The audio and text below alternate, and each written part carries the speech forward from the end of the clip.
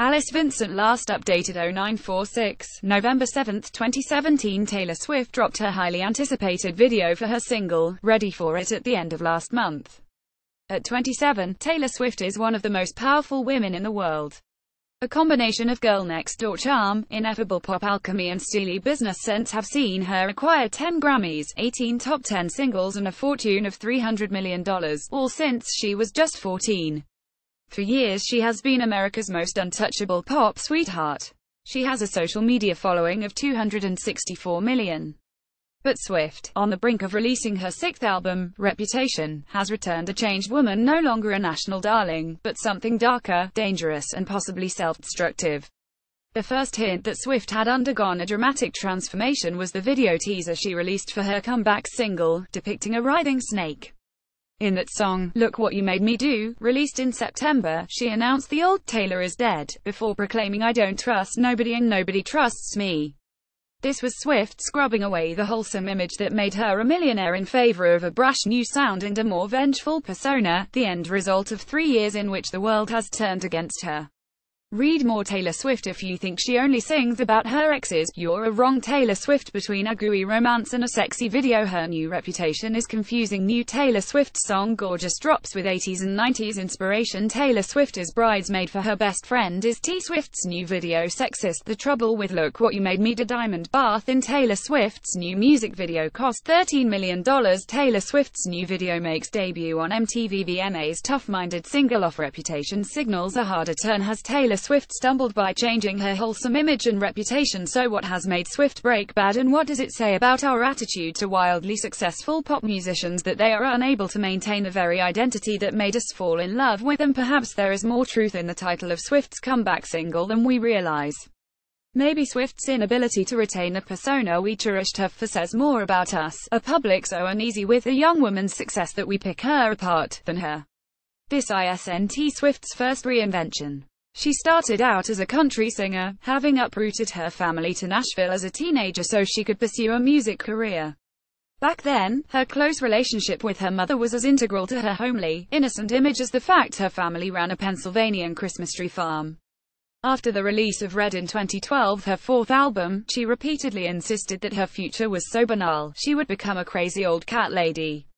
Yet in 2014, she straightened her ringlets and went pop 1989. Her fifth album was the biggest selling of the year, but ended up as an accessory to what became an even greater phenomenon Swift herself. With the record, Swift blossomed from a teen superstar into a formidable adult, and cemented her status as the perfect female pop icon for our times sexy but not sexualized feminist but not divisive powerful but not threatening.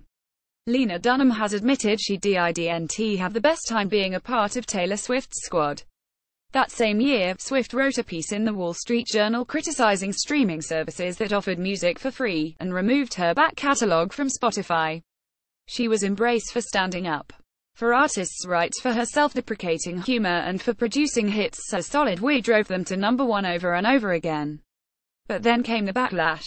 Her now infamous Girl Squad, a group of supermodel, actress and pop star friends whose glossy hair and beaming smiles filled Swift's Instagram feed, at first was talked about as a powerful expression of female solidarity, but the perception of it soon soured filled as it was with impossibly beautiful women flaunting impossibly perfect lives, it felt less feminist than elitist.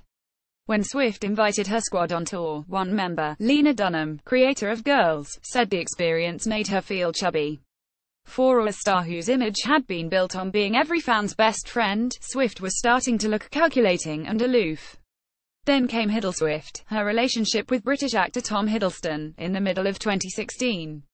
At the time, Swift was embroiled in an ugly spat with Kim Kardashian over a song by Kanye West in which he had bragged about having made Swift famous.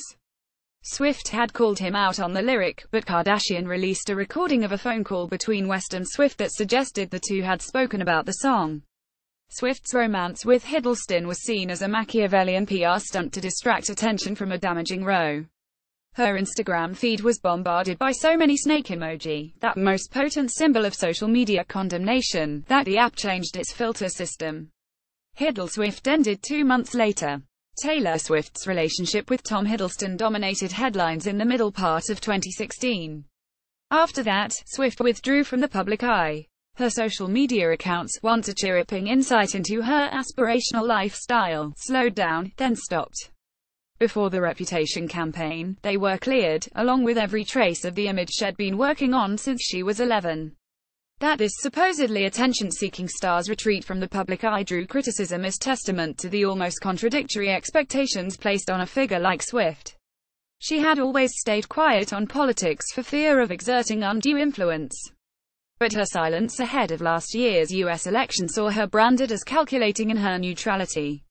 She could be forgiven for thinking that, whatever she does, she is damned either way.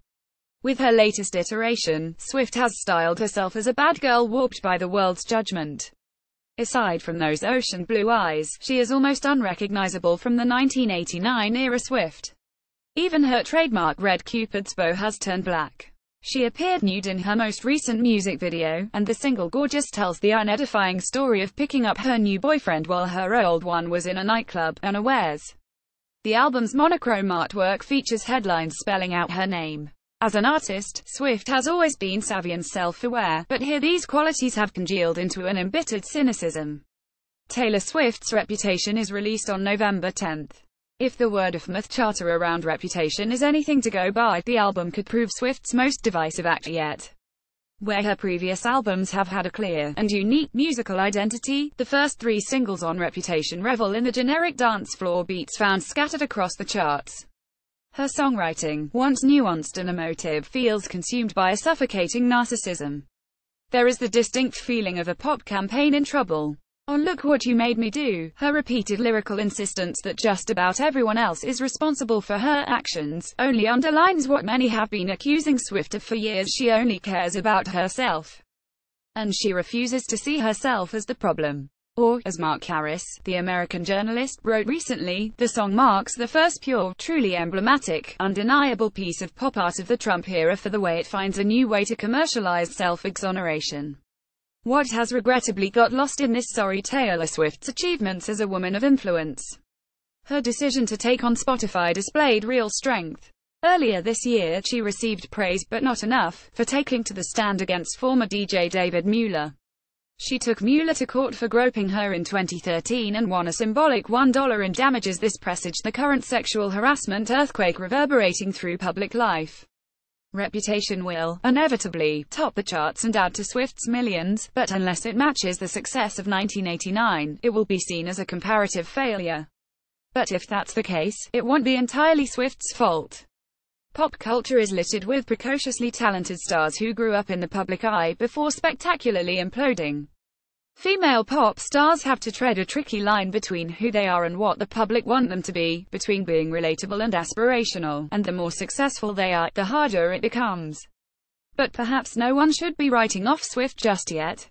As she sings on Look What You Made Me Do Honey, I rise up from the dead, I do it all the time. Reputation is released on November 10. The Telegraph, London.